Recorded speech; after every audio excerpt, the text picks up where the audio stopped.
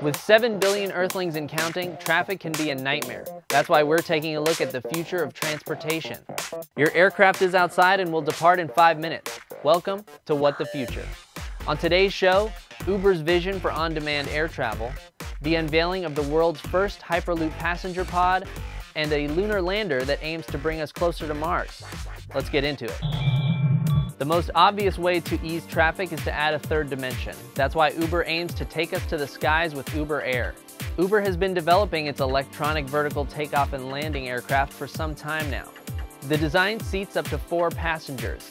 It could someday move at speeds of up to 150 to 200 miles per hour and travel up to 60 miles on a single charge. Uber has also shared several potential Skyport designs. The Skyport components will be modular, meaning they could be combined in different configurations and scaled up or down with relative ease. The unique design could handle up to 200 flights per hour. When they arrive at the Skyport, Uber aircraft will enter an autonomous queue where passengers can board and disembark. Los Angeles and Dallas have been selected as the first two launch cities, along with a third launch city that has yet to be announced. There are many safety and regulatory hurdles standing in the way of this plan. The aircraft needs to be built and FAA certified first. Uber is pushing to get its flying taxis in the air by 2020 for some demonstration flights, and the company hopes to have its paid air service up and running by 2023. Uber says that Uber Air will cost about $5.73 per passenger mile at launch. However, if it can realize its goal of creating a mass-produced automated aircraft, that price could fall to as low as a buck 84. There are many companies trying to stake their claim as the future of transportation comes into focus. Airbus and Terrafugia both have their own airborne rideshare systems in development. And beneath the surface of the Earth, a different race for transportation domination rages on. I'm talking, of course, about Hyperloop.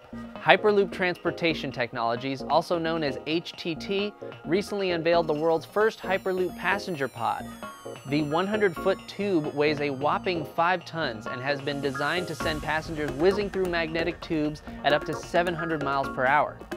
The pod contains two layers of a new smart material invented by HTT that's called Vibranium. Where have I heard that name before? There's vibranium on the trains? There's vibranium all around us. HTT's Vibranium is basically a type of carbon fiber that's embedded with sensors that can wirelessly transmit information about temperature, stability, and integrity. The pod has a double layer of vibranium so that there's a backup in case the outer layer gets damaged. HTT's main competitor is Virgin Hyperloop One, which has its own prototype pods, including a cargo pod, and a prototype passenger pod in Dubai that was designed by BMW. As cool as those pods are, it will still be several years before you can take the Hyperloop to work. Richard Branson says he wants it up and running in three years, but with safety and regulatory hurdles to be overcome, it could be even longer than that. Sometimes the journey is less important than the destination, especially when that destination is Mars. Lockheed Martin is developing a reusable lunar lander that will live on the moon's surface, never returning to Earth. Instead, it will shuttle astronauts to and from a space station in lunar orbit, which NASA calls a gateway. The lunar lander can carry up to four crew members and enough supplies to equip a lunar encampment for up to two weeks.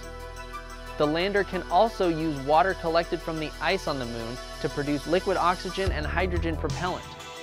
The Lunar Gateway will serve as a logistical waypoint, making it easier for astronauts to explore the moon's surface.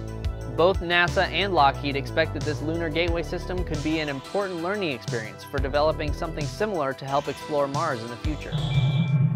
It's time for a question from one of our viewers. Richard Perryman asked us on Facebook, who or what controls the Uber air traffic?